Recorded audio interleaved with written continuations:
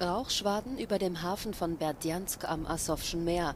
Die ukrainische Armee hat nach eigenen Angaben ein russisches Kriegsschiff zerstört und Putins Militär damit schwere Verluste zugefügt. Das Schiff brachte noch bis zuletzt Ausrüstung in die belagerte Stadt.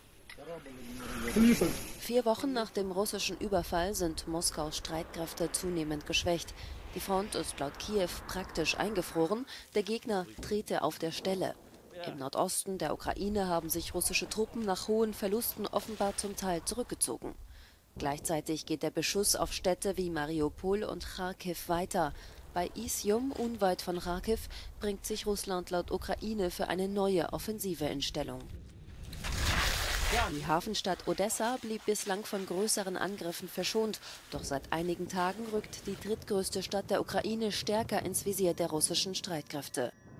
Die Innenstadt gleicht einer Festung, die Menschen bereiten sich mit Barrikaden aus Sandsäcken auf das Schlimmste vor. Odessa ist die größte Hafenstadt der Ukraine und hat militärisch wie wirtschaftlich große Bedeutung für das Land. Zudem ist die Stadt nicht weit von der Krim entfernt und deshalb für Putins Truppen strategisch sehr interessant.